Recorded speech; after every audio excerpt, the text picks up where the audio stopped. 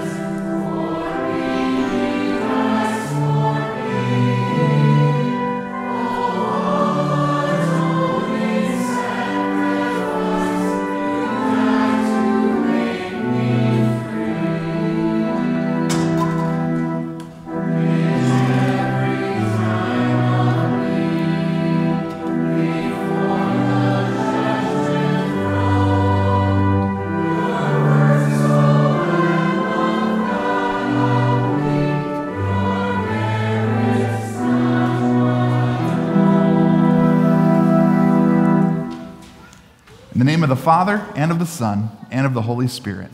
Amen. We confess our sins before our Heavenly Father. Almighty God, our Heavenly Father, we have sinned against you in our thoughts, in our words, in our deeds, and in all that we have not done. Forgive us in the name of our Lord Jesus Christ. Deliver and restore us that we may rest in peace. By the mercy of God, we are redeemed by Jesus Christ, and in him we are forgiven. Let us rest in his peace until the rising of the sun, when we shall serve him in newness of life. Amen. And we'll join in singing our psalm of the day, Psalm 85.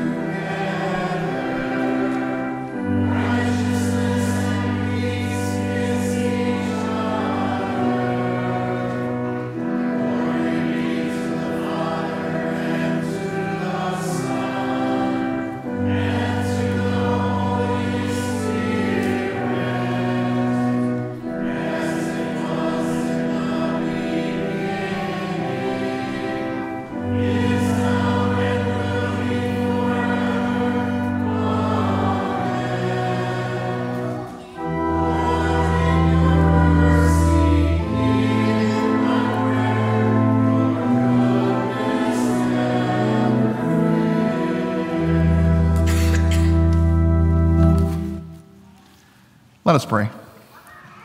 God of love and faithfulness, you showed favor to your people by sending your one and only Son to be our Savior. Help us to trust in him as our gracious Redeemer and so enjoy the peace he came to bring, who lives and reigns with you and the Holy Spirit, one God, now and forever. Amen. Now we hear our first graders who will be singing the song, There is a Green Hill.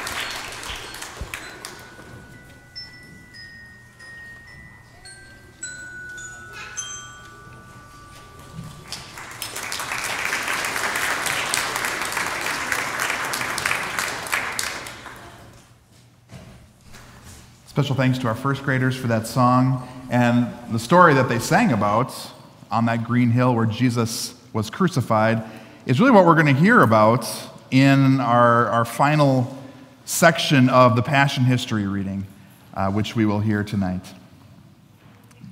Two other men who were criminals were led away with Jesus to be executed.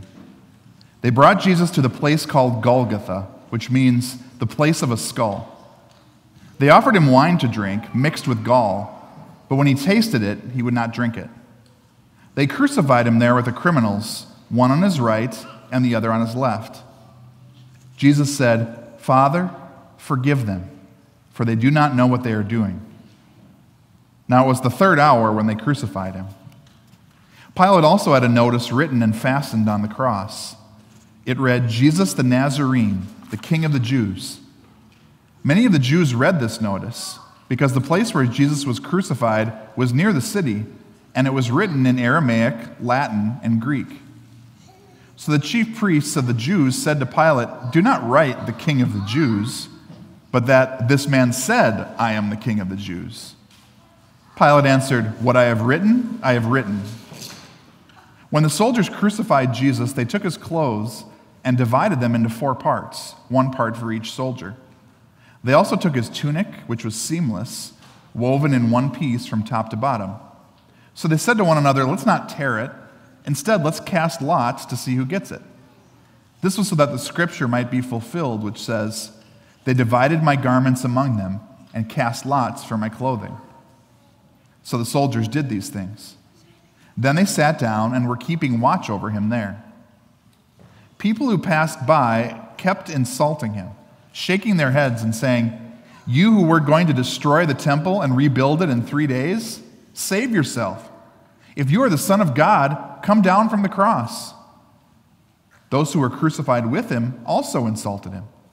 In the same way, the chief priests, experts in the law, and elders kept mocking him. They said, He saved others, but he cannot save himself. If he's the king of Israel, let him come down now from the cross, and we will believe in him. He trusts in God. Let God rescue him now, if he wants him, because he said, I am the Son of God. One of the criminals hanging there was blaspheming him, saying, Aren't you the Christ? Save yourself and us. But the other criminal rebuked him. Don't you fear God, since you are under the same condemnation? We are punished justly, for we are receiving what we deserve for what we have done. But this man has done nothing wrong. Then he said, Jesus, remember me when you come into your kingdom. Jesus said to him, Amen, I tell you, today you will be with me in paradise. Jesus' mother, his mother's sister, Mary, the wife of Clopas, and Mary Magdalene were standing near the cross.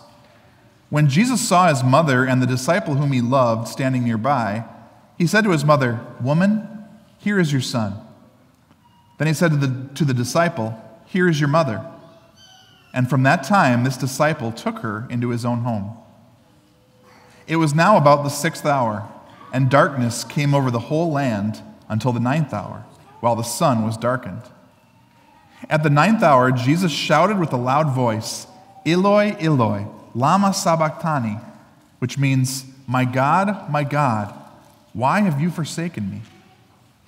When some of those standing there heard this, they said, Listen, he's calling Elijah. After this, knowing that everything had now been finished, and to fulfill the scripture, Jesus said, I thirst. A jar full of sour wine was sitting there. Immediately, one of them ran, took a sponge, and soaked it with sour wine. Then he put it on a stick and gave him a drink. When Jesus had received the sour wine, he said, It is finished. Jesus cried out with a loud voice, Father, into your hands I commit my spirit. When he had said this, he bowed his head and gave up his spirit. Suddenly, the temple curtain was torn in two from top to bottom. The earth shook and rocks were split. Tombs were opened, and many bodies of saints who had fallen asleep were raised to life. Those who came out of the tombs went into the holy city after Jesus' resurrection and appeared to many people.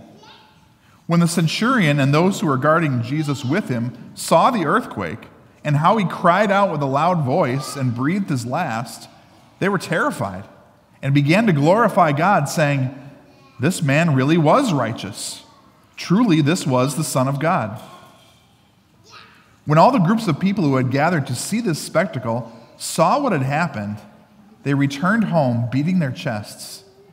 All those who knew Jesus and many women who had followed Jesus from Galilee and who had served him were there, watching from a distance. Among them were Mary Magdalene, Mary, the mother of James and Joseph, Salome, and the mother of Zebedee's sons. Since it was the preparation day, the Jews did not want the bodies left on the crosses over the Sabbath, because that Sabbath was a particularly important day.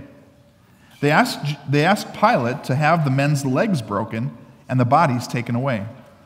So the soldiers came and broke the legs of the first man who was crucified with Jesus, and then those of the other man.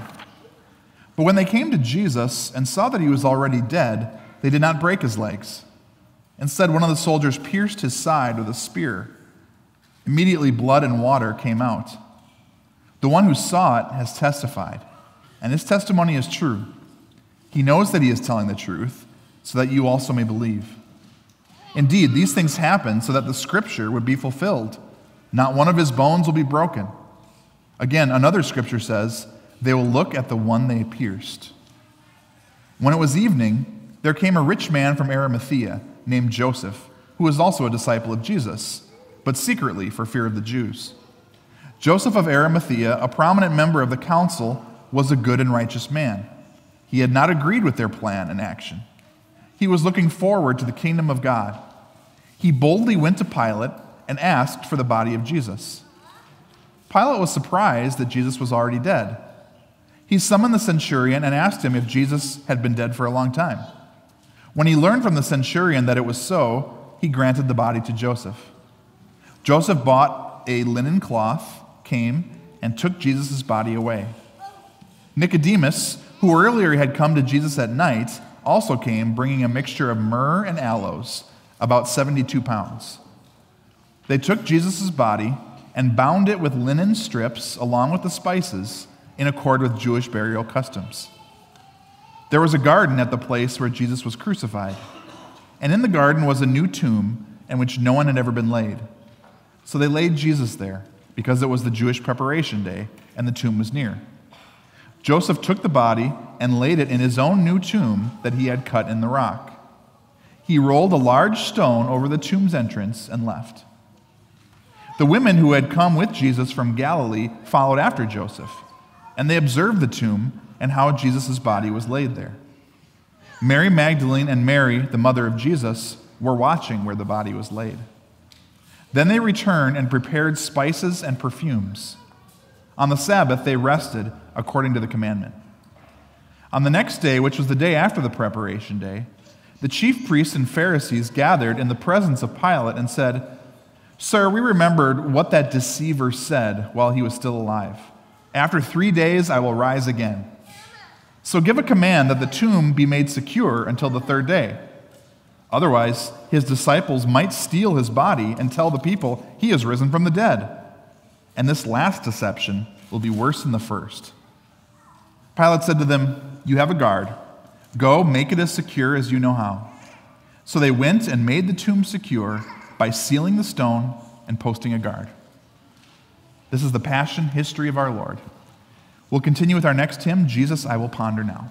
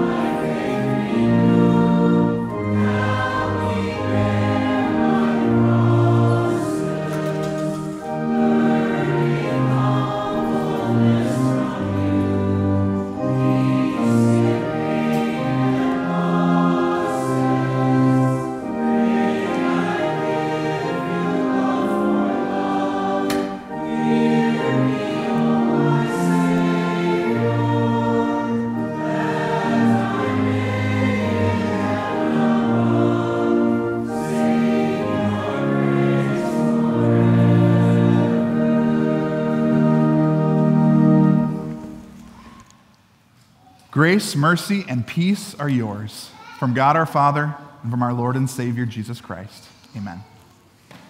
Uh, the portion of God's Word that we're going to look at, uh, just a couple of verses from the Gospel according to Luke, chapter 23, and I'll read them for us and we'll talk it through a little bit. Uh, Pilate called together the chief priests, the rulers, and the people, and said to them, You brought me this man as one who is inciting the people to rebellion. I have examined him in your presence and have found no basis for your charges against him. Neither has Herod, for he sent him back to us. As you can see, he has done nothing to deserve death. Therefore, I will punish him and then release him. Now, what Pilate is doing here has been described as offering the people a part for the whole. And I'm going to kind of explain what I mean by that. Uh, this is something that we do with negotiation sort of tactics. Uh, we, we see it a lot when someone's buying or selling something.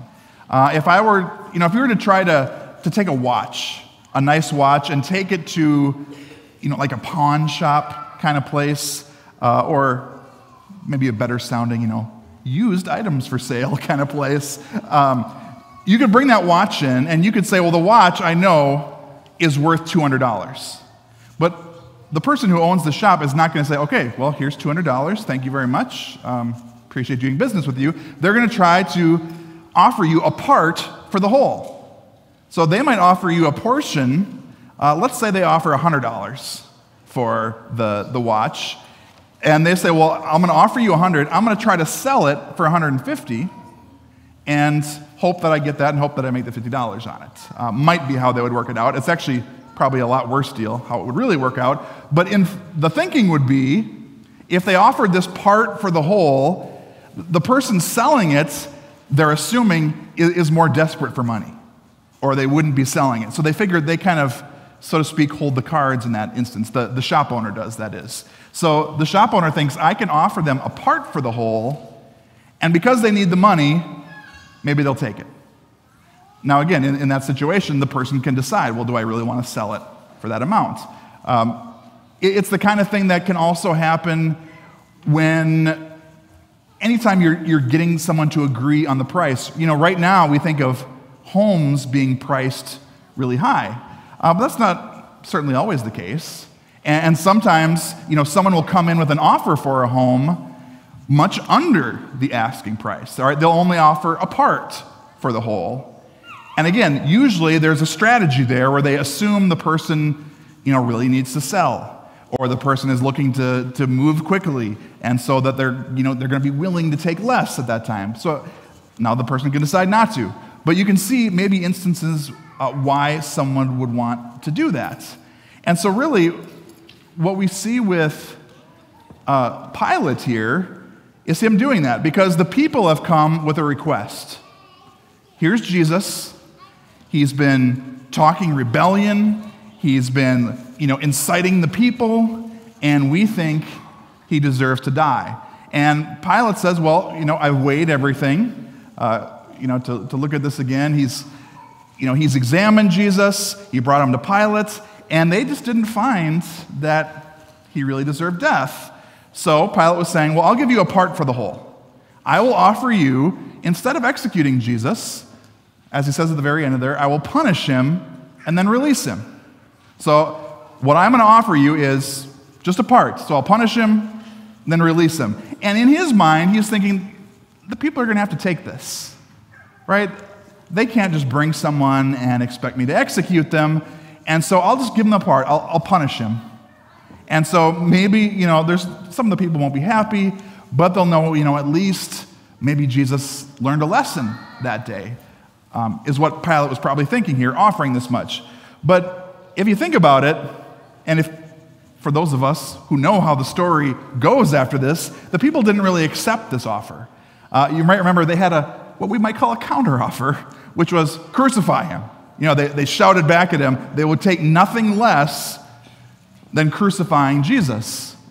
And you see, they knew some things about Pilate that Pilate wasn't counting on. They knew that Pilate was kind of sensitive about his job. And when they brought up the fact that, well, this Jesus says he's a king, And really, he's, you know, trying to pull the people away from Caesar. They knew that Pilate wasn't going to like the sound of that, and so that he would eventually give in. Right? So they, again, there was a, there was a negotiation going on here for Jesus' life. If you think about it, though, what Pilate offered really isn't that great either. Right? He knew Jesus was innocent. He just said so. He just told the people, All right, I've examined him. He didn't do anything wrong. Yet, he was willing to punish him.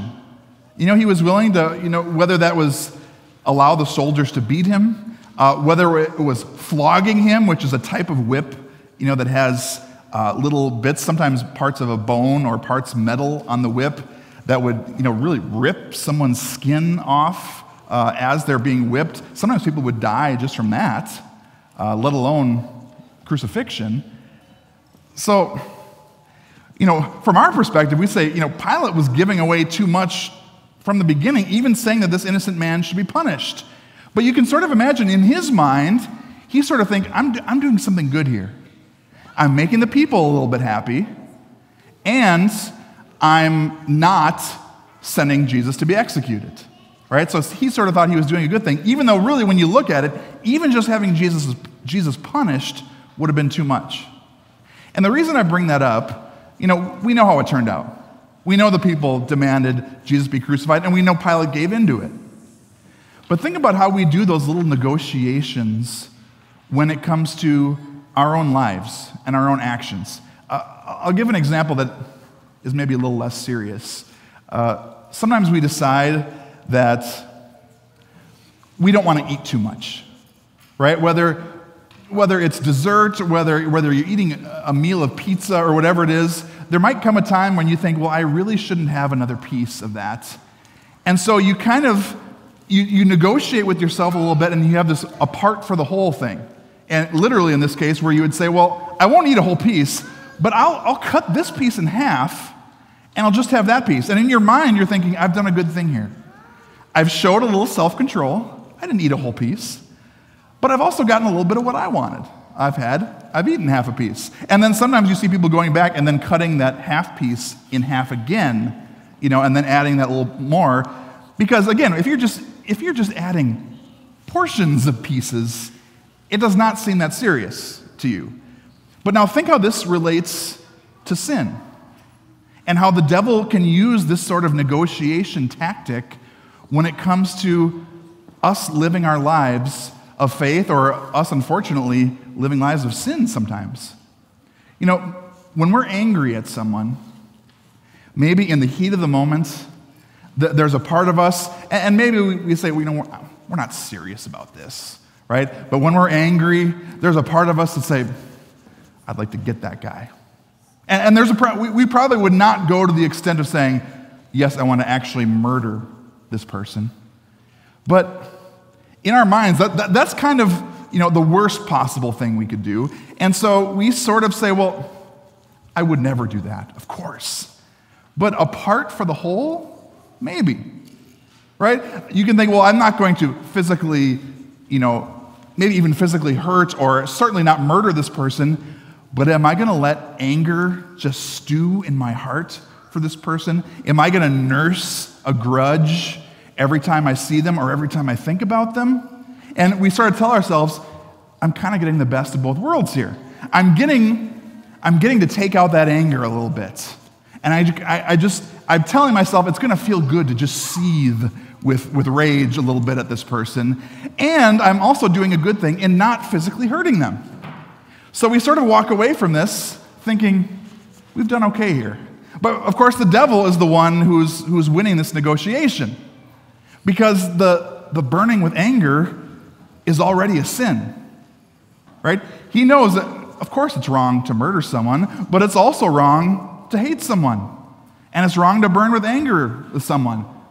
And so it's really tempting for us to think, okay, I don't want to do the worst possible sin, but maybe I can take the pressure off by just doing a little slice, just doing a little bit. Because you see, the devil is, as they say, give the devil his due. He's good at what he does. He's good at tempting us, he's good at luring us away. And if you think about it, think about someone who is not willing to take a part for the whole, and that's the devil. Right? The Bible tells us that the devil prowls around like a roaring lion looking for someone to devour. These temptations that he brings against us aren't just sort of you know, putting little obstacles in our path to make life harder. His goal is to devour us. His goal is to pull us away from our Savior, pull us away from our faith. And we think, well, come on, that's ridiculous. You know, that would never happen. But again, it's just like the idea of I'm not going to eat this whole thing, but then you eat that little sliver of a slice at a time until it's all gone. The devil understands that. And he wants to tempt us to pull us away from our Savior. And again, even though none of us are going to wake up most likely one day and say, I think I'm going to turn away from God today. I think I am going to, you know, I've, I've, I've weighed all the evidence and I am going to just, I'm going to give it all up. Um, I'm going to do it all today. I was very strong in my faith up till today, but today I'm cashing in my chips, so to speak. I'm just giving it all up. We wouldn't do that right? It's more gradual.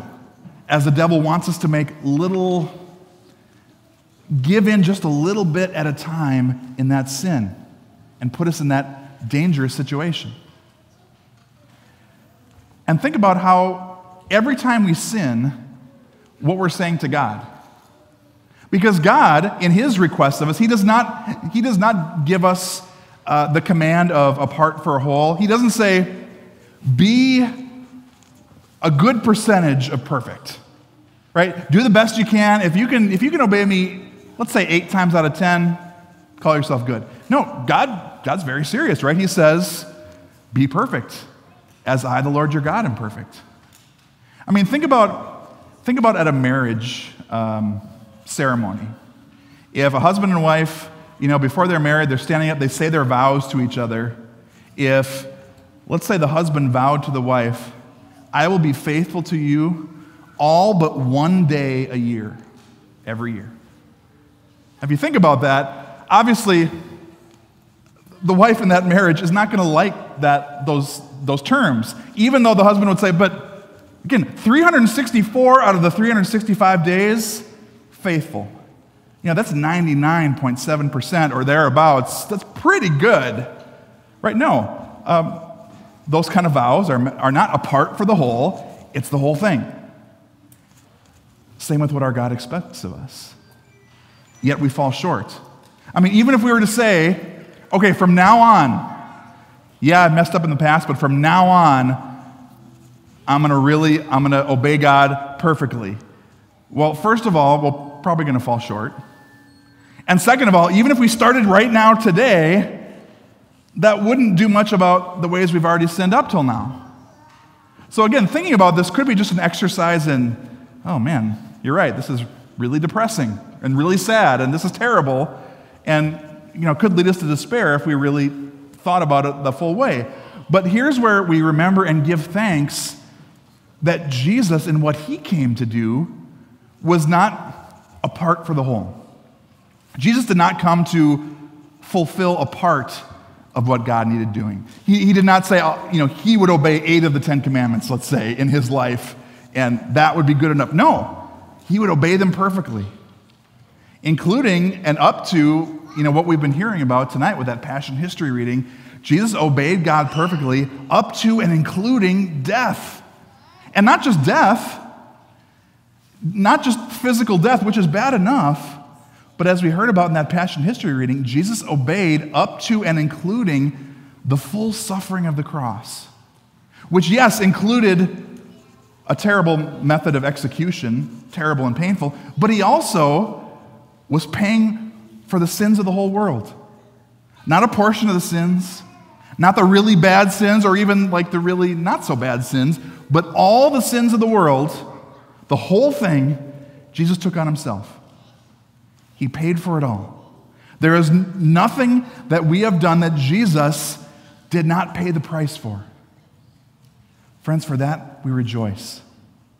Even though people give in to the little strategies of a part for the whole, uh, Pilate fell for it and then he eventually executed Jesus anyway. We continue to fall for it.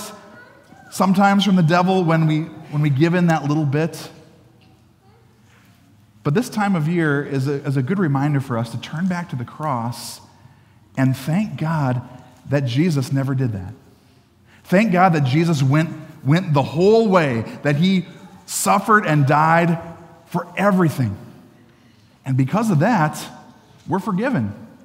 We're forgiven before God. Not forgiven for most of the stuff, not forgiven from everything after a certain point, and then after that, it's up for us to make up the rest somehow. No, the whole thing. Jesus says, and Jesus did, he did it all so that you are forgiven. And because of that, we want to serve him. Right? We, we see his commands not as a burden uh, that we have to somehow, you know, live up to, to to make God happy. No, because God is happy with us in Jesus, we want to serve him. So look to Jesus, rejoice that he went the whole way for you, and then rejoice that you get an opportunity to serve him with your whole heart.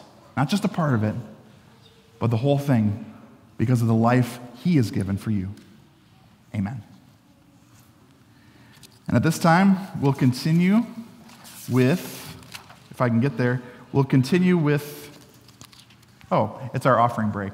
Uh, we're not really signing the, we're not really sending the offering plate around though. Um, just a reminder that, that there is an offering box in the entryway. Uh, but do take this time to sign the Connect card that you find on each row. And those viewing us online can sign the online Connect card also. Thank you.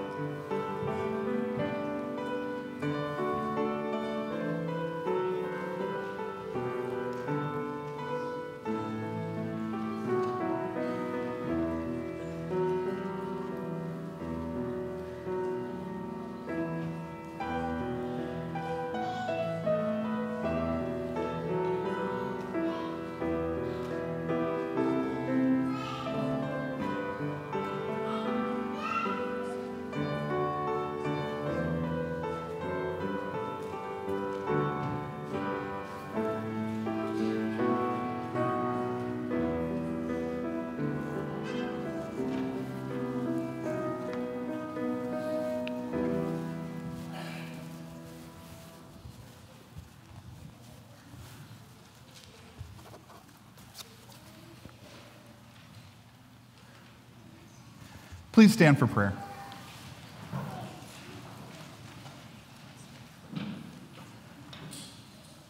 Abide with us, Lord, for it is evening and the day is almost over. Abide with us and with your whole church.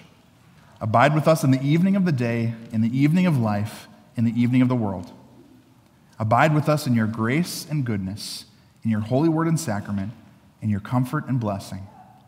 Abide with us when we are overcome by the night of sorrow and fear, by the night of doubt and affliction, by the night of bitter death.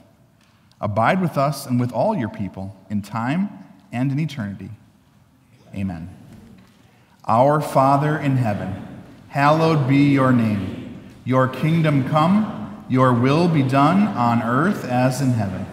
Give us today our daily bread Forgive us our sins as we forgive those who sin against us. Lead us not into temptation, but deliver us from evil. For the kingdom, the power, and the glory are yours, now and forever. Amen. May God be gracious to us and bless us, and make his face shine on us.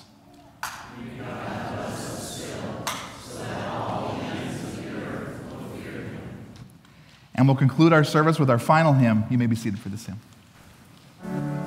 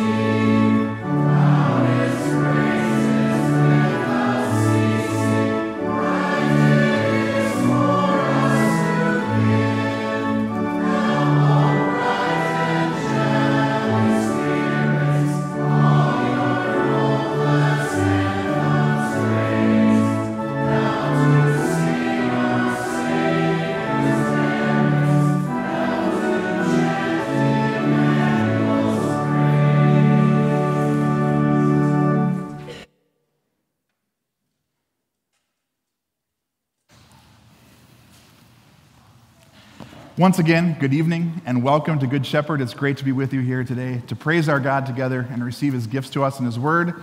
Uh, this is the last of our Wednesday services, so uh, it was great to have you here tonight. Uh, next week is Holy Week, uh, so we have our regular schedule for this coming Sunday, which is Palm Sunday uh, at 8 and 10 o'clock.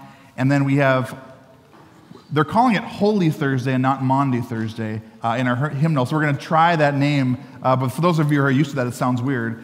Uh, but Holy Thursday is next Thursday, not tomorrow, but the week after. Uh, th- that service will be at 4:30 and 7, and include the Lord's Supper. And then Good Friday is that that next day, uh, also at 4:30 and 7 p.m.